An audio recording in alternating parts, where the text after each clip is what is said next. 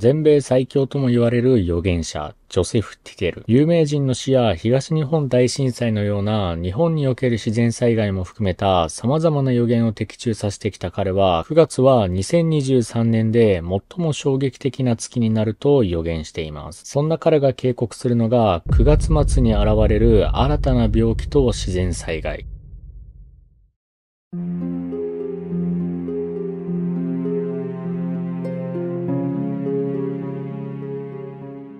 どうも皆さん、チャオモカです。前回の動画でジョセフ・ティテルさんが予言する9月の出来事について紹介したんですけど、今回はそれの続きで、彼が予言している今月末に新たに現れるという病気と自然災害についてお話ししていきます。前回の動画で紹介した政治に関する話もかなり衝撃的だったんですけど、今回はもっと衝撃的な内容になっています。衝撃的な衝撃場。9月に発生する自然災害。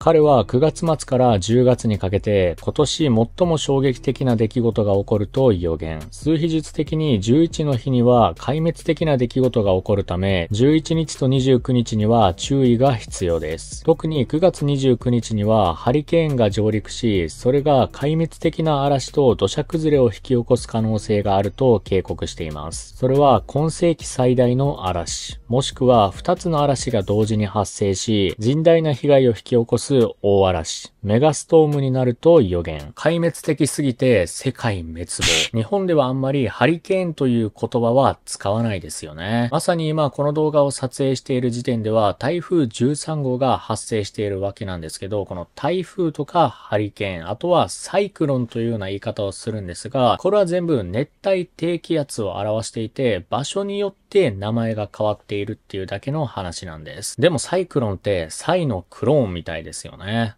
サイクロン、サイクローン。そして彼が発生すると予言している自然災害はハリケーンだけではないんです。ロサンゼルスで大地震が発生する可能性があると予言。その結果、ハリウッドサインが倒れるかもしれません。この地震は9月ではなく10月に発生するかもしれません。さらにオーストラリアでは火事が発生するとも警告しています。自然災害に関しては、とりあえず日本は触れられていなかったので、今月は大規模なものは発生ししないのかもしれないですけど、やはり日本に住んでいる以上は、日頃から地震に関しては気をつけておく方がいいのかもしれません。さらに9月には自然災害だけではなく、新たな病気が発生するとも予言しているんです。新たに現れる病気。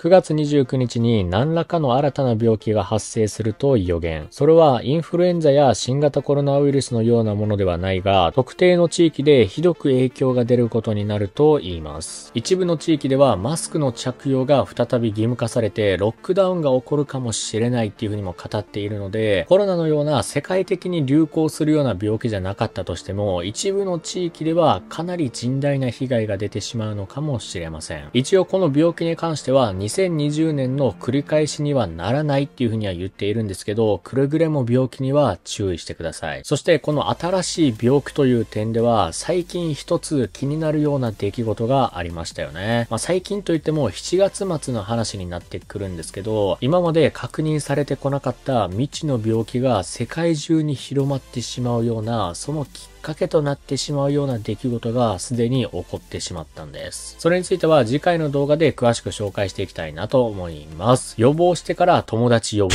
ぜひ皆さんの感想をコメント欄のほど教えていただければなと思います。ということで今回で良かった方はぜひ高評価とチャンネル登録の方もよろしくお願いします。それまた次の動画でしましょう。